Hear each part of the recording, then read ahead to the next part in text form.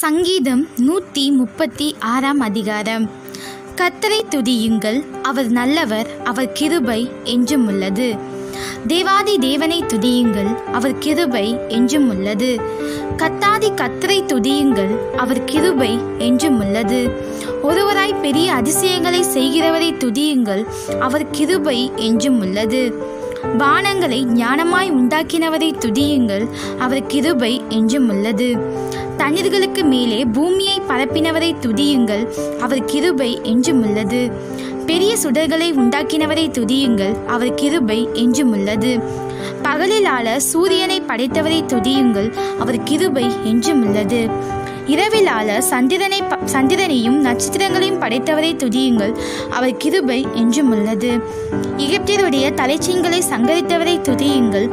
அவர் கிருபை என்றும் உள்ளது அவர்கள் நடுவிலிருந்து இஸ்ரவேலை புற புறப்பட பண்ணினவரை துதியுங்கள். அவர் கிருபை என்றும் உள்ளது. பலத்த கையினாலும் ஓங்கிய புயத்தினாலும் அதை செய்தவரை துதியுங்கள். அவர் கிருபை என்றும் உள்ளது. சிவந்த சமுத்திரத்தை இரண்டாக பிரித்தவரை துதியுங்கள். அவர் கிருபை என்றும் உள்ளது. அதன் நடுவே இஸ்ரவேலை கடந்து போக பண்ணினவரை துதியுங்கள். அவர் கிருபை என்றும் உள்ளது. பார்வோனையும் அவன் சேனையையும் சிவந்த சமுத்திரத்தில் கவிழ்த்து போட்டவரை துதியுங்கள். அவர் கிருபை என்றும் உள்ளது. தம்முடைய ஜனங்களை வனாந்திரத்தில் நடத்தினவரை துதியுங்கள். அவர் கிருபை என்றும் உள்ளது. பெரிய ராஜாக்களை சங்கரித்தவரை துதியுங்கள். அவர் கிருபை என்றும் உள்ளது. பிரபலமான ராஜாக்களை அழித்தவரை துதியுங்கள். அவர் கிருபை என்றும் உள்ளது. எமோரியரின் ராஜாவாகிய சீகோனை அழித்தவரை துதியுங்கள். அவர் கிருபை என்றும் உள்ளது. பாசானின் ராஜாவாகிய ஓகை அழித்தவரை துதியுங்கள். அவர் கிருபை என்றும் உள்ளது. அவர்கள் தேசத்தை சுதந்திரமாக தந்தவரை துதியுங்கள். அவர் கிருபை என்றும் உள்ளது.